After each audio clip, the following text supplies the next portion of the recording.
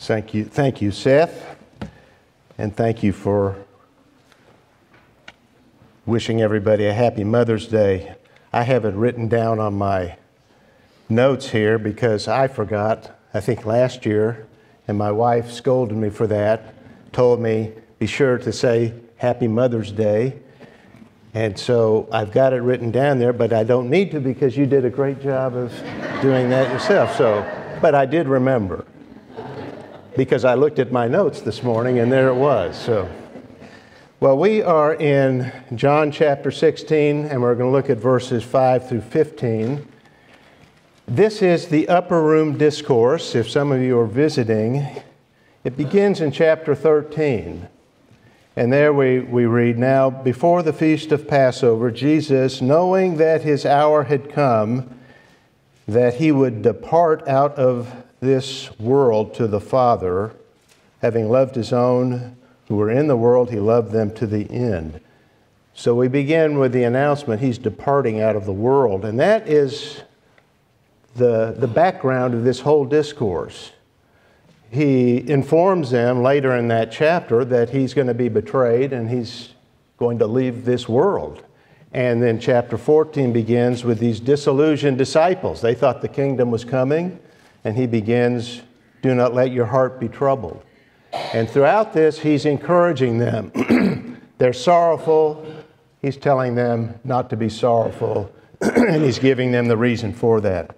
I'll return to that after I read the text, but we begin here in verse 5. But now I am going to him who sent me. And none of you asked me, Where are you going? But because I have said these things to you, sorrow has filled your heart. But I tell you the truth, it is to your advantage that I go away. For if I do not go away, the Helper will not come to you. But if I go, I will send him to you. And he, when he comes, will convict the world concerning sin and righteousness and judgment. Concerning sin, because they do not believe in me and concerning righteousness, because I go to the Father and you no longer see me. And concerning judgment, because the ruler of this world has been judged. I have many more things to say to you, but you cannot bear them now. But when He, the Spirit of truth, comes, He will guide you into all the truth. For He will not speak on His own initiative, but whatever He hears, he will speak and he will disclose it to you what is to disclose to you what is to come. He will glorify me, for he will take of mine and will disclose it to you. All things that the Father has are mine. Therefore I said that he takes of mine and will disclose it to you. Now I read through my notes in preparation for this service every week, and there are times when I think there are a lot of trees in that forest, and it's hard to get the overall picture. So I'm going to right now give you the forest. Basically, this you're discouraged, you're sorrowful, but your sorrow is going to turn to joy. You're going, you need to be encouraged because my leaving, my departure, he was saying to him, is to your advantage. Because I'm leaving, I will be able to send the Holy Spirit to you, and He'll have two ministries one to the world to convict it of sin. And you'll never be able to do that in your own strength and power. He's coming and He will convict through your ministry the world of sin. And secondly, He is going to guide you into all the truth. I think that probably should be understood guide you in all the truth, the truth that I've revealed to you. So that's the reason for the encouragement he gives them here. The Spirit of God is coming, and he will empower your ministry, and it'll be very effective. So you're sorrowful now, he tells them, but you'll be joyful later. Well, let's bow in a word of prayer and ask the Lord to bless the reading that we've just made, done, and bless our time of studying it together. One of Shakespeare's most famous lines is from the first balcony scene in Romeo and Juliet when she told him, Parting is such sweet sorrow. People have wondered how can sorrow be sweet? It's a contradiction. Maybe a teenager in love isn't always logical, and neither are some old guys, but actually it makes good sense. We see that in John 16, where Jesus spoke to his disciples about his parting and said in verse 6 that it had caused them sorrow, and yet that sorrow, as we learn, would be sweet. He indicated that in the next verse when he told them it was to their advantage that he leave them. And before too long, they would understand the blessings the Lord had won for them at the cross. But in the short term, their sorrow would only grow.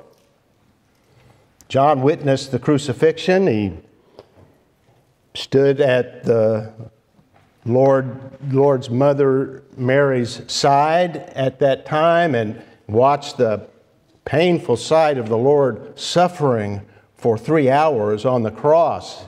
I doubt that scene ever cro- that I doubt that that scene ever crossed his mind, and he did not have a, a sense of sorrow as he thought about it. And yet, it was very sweet because he knew that is where Christ bought his salvation. He was redeemed at the cross. The payment was made there, and Christ declared it's finished. Nothing more for the sinner to do but receive the work that he's done. Now, that's sorrow, but that's sweet sorrow. But there are other reasons the Lord's parting was sweet and to their advantage. The Holy Spirit would come. Jesus called him the Helper, and he would help them in many ways. He spoke of that earlier in chapter 14, how the Spirit would teach them and remind them of things. He comes back to that here, telling them that the Spirit would guide them in all the truth. He, but he would also have a ministry to the world that would assist them in their evangelism. That's where he begins this passage on the Holy Spirit. He tells them again about his departure. And then he says in verse 7 But I tell you the truth, it is to your advantage that I go away, for if I do not go away, the Helper will not come to you. But if I go, I will send him to you. Then all would be sweet. But he first had to depart. He had to die on the cross and make atonement. Otherwise, sin would remain unpunished and unremoved, and they would remain unfit for the Holy Spirit. He could only send the Spirit, and they could only receive the Spirit if Christ's mission took place and his mission was successful. Of course, he could not fail in his mission which was to cleanse his disciples, all his people, of sin and guilt and render powerless him who had the power of death, that is, the devil. So he became a curse for us, suffering the curse of the law in our place to satisfy God's justice, and in doing that, deliver us from the penalty of death and from the devil himself whose hold on us was through our sin and guilt. That's what he accomplished by leaving, by going to the cross for them. It saved them from judgment. It delivered them from the, the, from the devil, and it made them fit for the helper. So it was to their advantage. They would become different people they would have a new understanding, they would have new courage. The Lord would change them, change their ministry. It would be a spirit empowered ministry and a worldwide ministry. In the next verses, the Lord explains how the Spirit would work in the world. He would bring conviction in three areas. He would convict the world concerning sin and righteousness and judgment. So, he would be the world's prosecutor. That's different from his ministry to the disciples. Back in chapter 14, the word paraclete or helper has the idea of advocate or a defense lawyer. He helps us overcome the guilt and sense of unworthiness that can overwhelm us because of the accusations of our own heart or the charges made by the devil himself. But to the world, he does the opposite. He is the counselor for the prosecution. But he doesn't argue his case before God the judge, but to the unbeliever to bring conviction leading to repentance. So the world here is the world in all of its parts, not the world in all its people. It is the Jew and the Gentile. The Spirit doesn't convict and convince all without exception, but all without distinction. This is who the Lord gathers his people throughout the world, from every tribe and tongue and people and nation, down through the ages. It is a supernatural work. But it is a work he does through the church and generally through the preaching of the gospel by applying truth to the conscience in order to persuade and convict the guilty. It is necessary work but something beyond human competence. The Spirit is necessary because the world is blind to its own condition and, and, and the spiritual reality of life. It lies in the evil one, John wrote in 1 John chapter 5, verse 19. It lies in him placidly. It's like a sleeping baby in the arms of its parent. It's comfortable in its spiritual darkness. Paul said Satan has blinded the minds of the unbelieving. So the Lord's disciples shine the light of truth, the Word of God, into darkened hearts, which the Holy Spirit makes effective, illuminating that Word to bring conviction leading to conversion. The Lord then develops this in more detail in verses 9 through 11. First, he says, the Spirit convicts the world concerning sin because they do not believe in me. Notice, the Lord did not say concerning sins, plural, but sin, singular. He convicts people of their condition, which is one of rebellion, lawlessness, from which sins, plural, proceed. The reason for human rebellion is unbelief. That's the root cause of all sin. That's what Paul wrote in Romans 14, verse 23. Whatever is not from faith is sin. That's the condition of all mankind.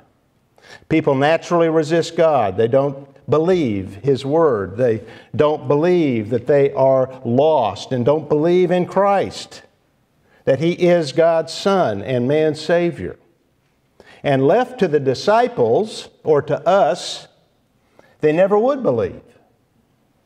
That's the reason it was to their advantage that the Lord leave and the Spirit come, because He can bring conviction and awareness of guilt. He can do what we cannot do.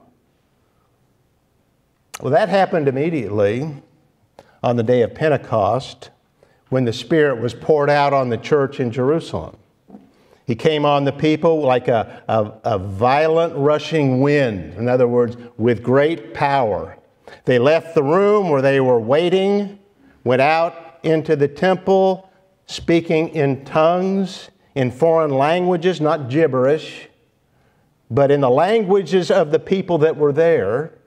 That was miraculous. And Peter then began to preach, and he preached with power. The man who a month and a half earlier had denied Christ three times and cowered before a slave girl, became bold, courageous in his witness, clear in his witness. He proclaimed to thousands of people that Jesus is Lord and Christ, Christ, whom you crucified. That wasn't a message that was easily received. That wasn't a pleasant message to hear, but he, in boldness, said, You crucified him. And what happened? Luke wrote, They were pierced to the heart and said, Brethren, what shall we do? And Peter told them, Repent and be baptized. And about 3,000 did. Not because of Peter's zeal or eloquence. If that sermon had been preached the day before, the results would have been very different. But the Holy Spirit was there, and because of his effective prosecutorial ministry in convicting sinners of their sin, their unbelief, they were convinced, and thousands believed. He does that today. R.A. Torrey was an evangelist and later a pastor teacher of the Moody Church in Chicago. And one night, a stranger was in the meeting who, whose gaze was riveted on Mr. Torrey all through his sermon. Afterward, the man came to him. He was a lifelong gambler who earlier that day had met a friend and former gambler who had urged him to come with him that evening to hear Mr. Torrey preach. As he spoke, the man broke down and wept. He said, Oh, I don't know what's the matter with me. I feel awful. I've never felt this way before in my life. And Mr. Torrey said, I know what's the matter with you. You're under conviction of sin, for the Holy Spirit is dealing with you.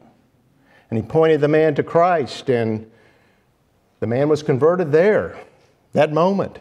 Many other conversions followed at the church as people came under conviction of sin and were brought to faith in Christ. The Spirit of God is at work today, just as, just as it was in R.A. Torrey's day, as it was on the day of Pentecost in Acts chapter 2, doing the greatest miracles of history regeneration, sanctification, and someday glorification. Some people today pine for the miracles of the apostolic age physical healings and resurrections, and I confess it would be wonderful if we had those. But those aren't the greatest miracles. The miracle of the new birth and the transformation that follows from that the freedom from the enslavement of sin and the glorification that comes. That's the greatest miracle. As great as the, the raising of Lazarus was, the conversion of Saul of Tarsus, I would argue, was even greater. It transformed a, a proud, brilliant rabbi into a humble, self sacrificing apostle and missionary. It changed him from a zealot who hated Christ and hated his people into such a lover of the Lord and of the lost that even his enemies confessed that he and his friends had turned the world upside down. And that is for today. That miracle happens every day. But it wouldn't happen at all if Jesus had not left the disciples. Second, the Holy Spirit convicts the world of righteousness and concerning righteousness because I go to the Father and you no longer see me. The righteousness is Christ's righteousness, which was proved by his departure from this world through his death, through his resurrection, and his ascension into heaven. The world judged Jesus as a blasphemer and crucified him as a criminal. But God vindicated him and demonstrated that he is righteous by exalting him. By doing that, God overruled the judgment of the world and declared Jesus to be his Son with power worthy of worship and to be believed on in the world. And when we do believe on him, we have his righteousness. It's imputed to us. The world has its own standard of righteousness, which it thinks it achieves in its own efforts through morality and ritual, through religion. But true righteousness is seen in Christ, and that righteousness is flawless perfection. He's the standard and source of righteousness which cannot be achieved. It can only be received as a free gift and it becomes ours through faith in Christ alone by trusting in Him. And in that trust, at that moment, we're declared righteous, legally acceptable to the Father, guiltless and righteous. And He convicts the world, the elect throughout the world, of the devil's doom. So He convicts of sin, then he convicts of Christ's righteousness, which we receive through faith. And thirdly, concerning the, ju- concerning the devil's doom and concerning judgment, because the ruler of this world has been judged. Well, that's already happened. It happened at the cross. That is where Genesis chapter 3, verse 15 was fulfilled and the serpent's head was crushed. His plans and his domain have been utterly defeated. Christ has already had his victory parade, his triumph. The Roman generals, when they had a particularly spectacular, significant victory over an enemy, were given a triumph by the Senate. And the general would come into, the, into Rome and through the city and into the forum parading all of the treasures of the victory with the captives chained behind him, displaying his great victory. Well, that's the image we have of our Lord and what he's done. In Ephesians, it's described, in Colossians 2, verse 15, there it's stated that he has this triumph as he ascended into heaven, having disarmed the rulers and authorities and made public display of them. Satan's defeated. Now, he still is at work, he still deceives, he still fights, but he is a defeated enemy. We are victors in Christ. That is a past and permanent judgment but it has implications for the future.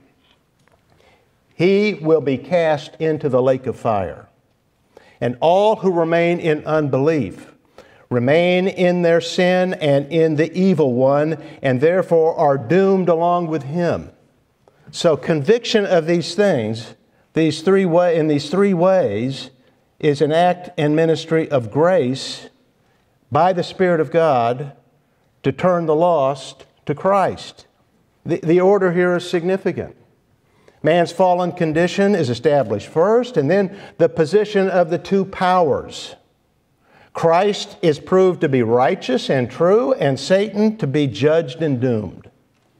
When a person is convicted of sin, the choices are clear to obtain righteousness in Christ, which is an alien righteousness, not one of our own, or to remain in one's sins and be carried off to judgment.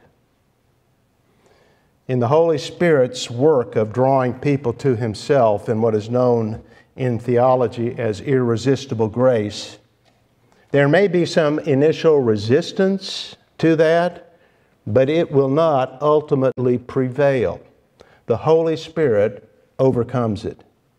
Paul's an example of that. He was in the synagogue when Stephen gave his final sermon. And Stephen was so effective in what he said, in the power of the Holy Spirit, that none could overcome his arguments and his statements. Well, Paul was there. Saul was there. he gave his approval to stone Stephen. Luke wrote of that in Acts 7, verse 58. They laid their robes at the feet of a young man named Saul. He got rid of Stephen, but I don't think he ever got rid of Stephen's words. They were still in his mind there on the Damascus road. They prepared his heart for that moment that Christ appeared to him in glory, brighter than the noonday sun, and the Holy Spirit convicted him and converted him. That was when the persecutor became the apostle. The world would resist the ministry of the apostles, it would hate them. The Lord has already warned of that, He warned of that earlier. But the Spirit's ministry would overcome and will overcome and is overcoming the world's opposition. The apostles would soon learn that it was to their advantage that the Lord leave them, and that would make the sorrow of his parting sweet indeed. But the Lord tells them that they were not yet ready for that. In order for them to be effective in the world, they would need to have a greater understanding of the things of God. They did not have that. He had much to tell them, and he had very, very little time to do it. And what he had to say to them, they could not bear at that time, he said. They needed greater maturity. They needed greater capacity for understanding. They needed more instruction. The Lord now promises them that. He promises that the Holy Spirit He would give them would give them that. He would teach them and give them understanding of the truth. So now in verses 13 through 15, the Lord gives them instruction on the second work of the Holy Spirit. He's explained his work to the world, and now it's to them, his ministry to the disciples, and how he would help them. He calls him the Spirit of truth the one who conveys and reveals truth. He would guide them in all the truth, which reveals more about the Spirit than his function only. It also reveals his nature. The Spirit is not some inanimate power or influence, He is a guide. And that takes intelligence to be a guide, which indicates that He has personality. We, we covered this previously, but this passage makes it all the more clear. The, the Spirit's personality is also evident from the grammar that is used here, the pronoun that is used of Him. It was used back in chapter 14, where the Spirit is referred to as a He, not an it. John could have used the neuter pronoun. In fact, as we pointed out a few weeks back, grammatically, that would have been the correct thing to do because a, a uh, in Greek, a adjective modifies the, the noun with the same gender. So, it, it, since spirit is neuter, you would expect the pronoun to be neuter as well, which is an it. But in what seems to be a deliberate effort to make the point that the Holy Spirit is a He. John was less grammatical. Seems to really have broken the rule to make the point that, he, uh, that the Spirit is a person by using a masculine pronoun. As I said, he did that earlier in chapter 14, verse 26, when he recorded that the Holy Spirit would teach them and remind them all things of all things. That, that itself indicates very clearly that he is not an influence, a mere power. He's a person. And here the Lord promises even more. The Spirit would guide them into all the truth and would tell them what is yet to come and will give them further, revela- further revelation, truth that, that they were not able at that time to bear. Now, some of the best manuscripts of the Greek text have in this verse the, the preposition in rather than into. The New American Standard Bible translates it into, it follows a different reading, but it's probably in that is the meaning and the proper word. The Spirit would guide them in the truth. That, that, as I say, is a better reading, and it makes a little different uh, sense to the promise, which is the Holy Spirit would guide them in truth that, that has already been revealed, the truth about Christ. Jesus is the truth. He said that in John 14, verse 6. And the Holy Spirit would lead them within the revelation Christ had given them in order to amplify it and lead them into its implications. And as the Spirit guided them further along that way, the Lord said, He will disclose to you what is to come. Now, that's often understood to refer to eschatology, prophetic truth, future things, as, for example, the book of Revelation. But the context does not seem to support that. What the disciples had difficulty understanding was the events that would immediately come the Lord's crucifixion, his resurrection, and ascension. That most likely is what is in view here, at least principally. Doesn't rule out the other, but principally these, these immediate things that they're troubled about. The Lord was promising them that through the teaching ministry of the Holy Spirit, the apostles would produce the New Testament. The Spirit would remind them of what the Lord had said and done and teach them the meaning of it so that they would understand all that they had heard and all that they had seen. And all of that is about Christ. The Lord said of the Spirit, He will not speak on His own initiative, only what He hears. The Spirit's message isn't different from the message of Christ. His teaching unfolds Christ's teaching. The Lord elaborates on that in the next verses, verses 14 and 15. He will glorify me, for he will take of mine and will disclose it to you. All things that the Father has are mine. Therefore I said, He takes of mine and will disclose it to you. The main mission of the Holy Spirit is to glorify Christ. The Spirit would be self effacing, as J.I. Packer put it, directing all attention away from himself to Christ. That is the touchstone of a truly Spirit led, Spirit filled ministry. It is Jesus Christ. And if we understand who Christ is, what He has done, who He is, what He is doing, and will do, then if we understand that, there will be excitement. Real excitement.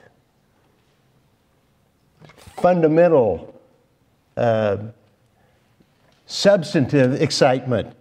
Joy is the second of the nine virtues of the Holy Spirit listed in Galatians 5, verses 22 and 23, which He produces in us as He guides us in all the truth about Christ and the Word of God.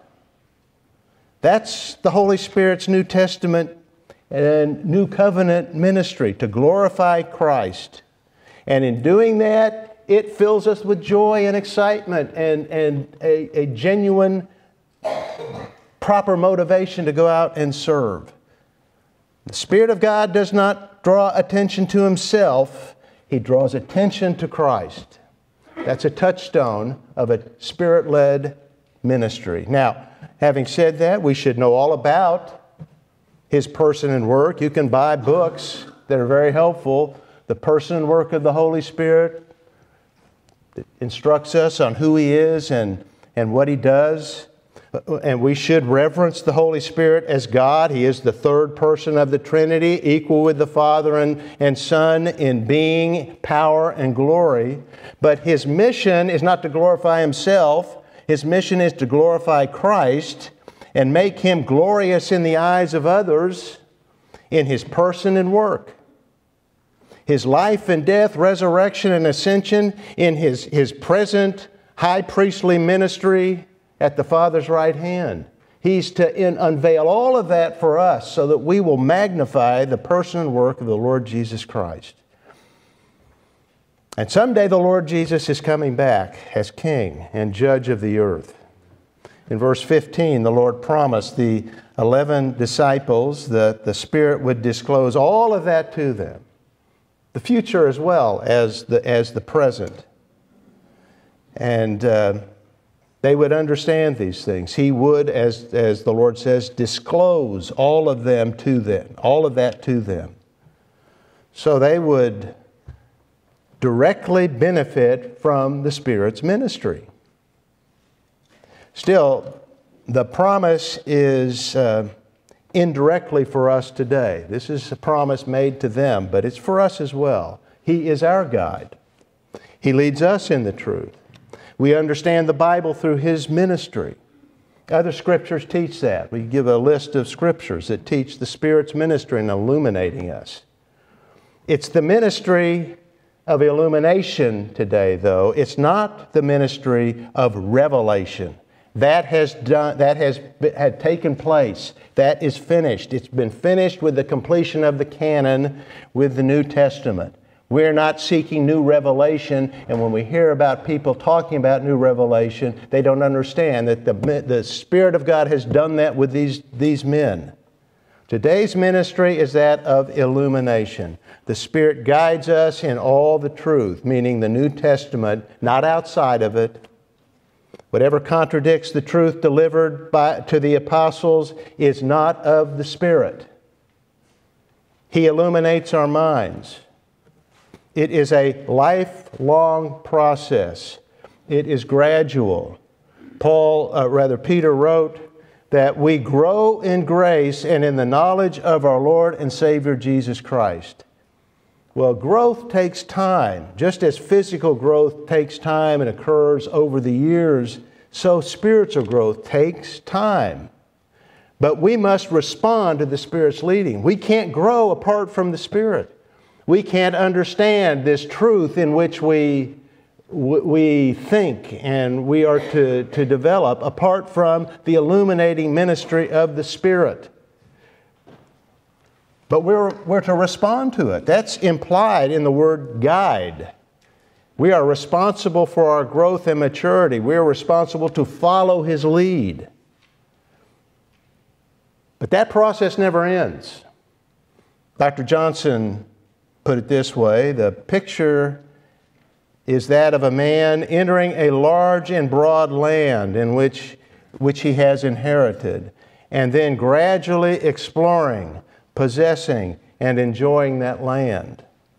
We will continue that exploration and appropriation throughout all eternity. It'll never end. That's the riches that we have inherited.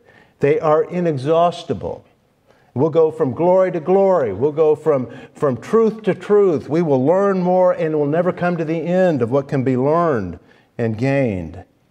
And this was theirs, the disciples, and it's ours because he went away. They were full of sorrow at that time, but it was to their advantage, the Lord said, that he leave.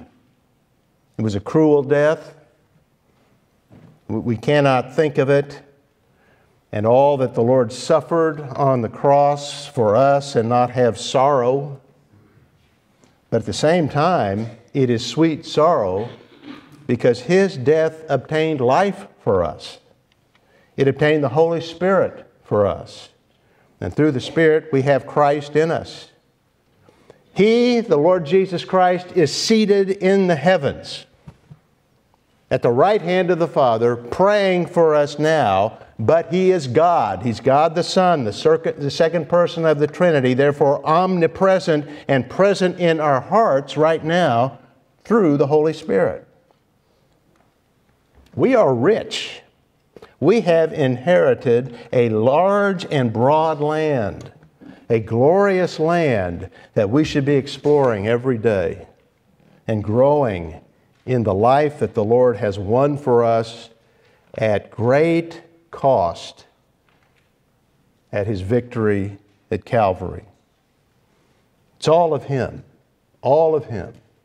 Salvation, Jonah said, is of the Lord, and it is. Do you have it? Notice again verse 9 and what condemns a person. It's not theft or murder or immorality, terrible sins. It is unbelief. Why is that so damning? Because it rejects the only one who can save. Jesus Christ is the only Savior because, as God the Son, He is the only one who could take away our guilt by dying in our place. So, if you've not believed, recognize your sin and separation from God, trust in Christ, receive from Him forgiveness, cleansing, and eternal life. He's done everything. It's for us to simply receive it. May God help you to do that. Father, we give you praise and thanks for seeking us and then buying us, purchasing us for yourself with the precious blood of your Son through his effective sacrifice for your people, which is not a few, it's myriads and myriads of souls that you saved. And we who have believed give you thanks and recognize it's all of you, not of us. And someday we'll be glorified. Help us in the meantime to walk by the Spirit, know that we're victorious in Christ, and live that way, and live as good and faithful witnesses for you. We have the power to do that through the Spirit. We thank you for that. And now, Lord, we pray that you would Bless us and keep us and make your face shine on us and be gracious to us, and that you would lift up your countenance on us and give all of us peace. And we pray this in the name of your Son, the Lord Jesus Christ. Amen.